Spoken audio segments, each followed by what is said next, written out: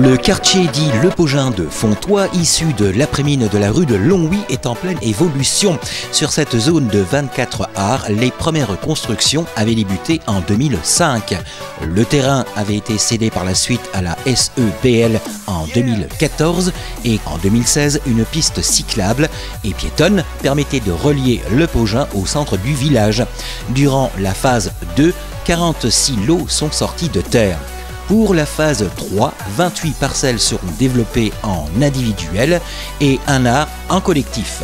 Sur la partie du quartier du Pogin, on a effectivement euh, un aménagement qui va avoir lieu sur, euh, deux ans, avec euh, la tranche numéro 3 et la tranche numéro 4 qui vont se succéder. Sur la tranche numéro 3, on va avoir 28 parcelles qui vont se développer en individuel et environ un hectare sur la partie euh, collective. Euh, sur la partie euh, de quatrième tranche, on aura à peu près le même volume de, commercialisation.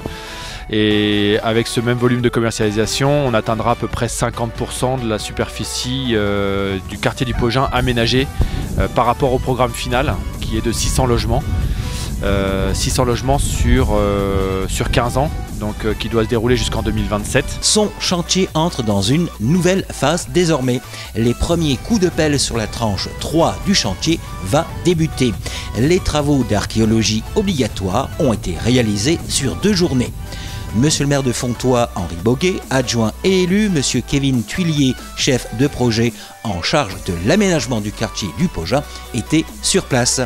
Monsieur Boguet, maire de Fontois. Nous sommes dans une phase euh, opérationnel du Pogin.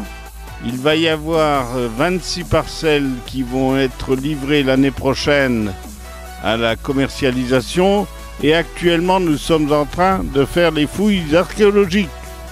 L'attribution des offres de travaux est fixée pour fin octobre, avant le démarrage fin novembre. La livraison des parcelles aura lieu en automne 2020. Euh, et, donc pour l'instant, effectivement, la tranche numéro 3 et numéro 4 vont être euh, démarrées là en termes d'archéo euh, immédiatement, avec un démarrage des travaux de, de, construction pour les acquéreurs à compter de l'automne de l'année prochaine puisqu'on a un an de viabilisation avant de commencer la, mise à la construction des maisons. Comme vous voyez, le Pogin n'est plus une utopie, c'est une véritable, c'est une réalité et on y conserve à la fois le goût de la nature, absence de COV comme sur les zones industrielles et surtout la connotation écologique dont chacun parle, mais que nous réalisons.